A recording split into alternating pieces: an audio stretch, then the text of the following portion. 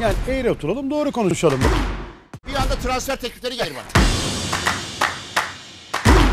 Gol! Nerede gol oldu? Evet Suat'cığım senin attı olduğun maçta gol oldu. Neler söyleyeceksin?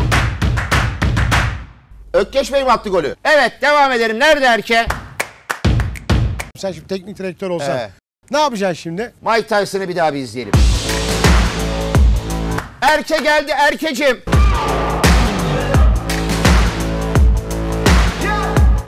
is up and.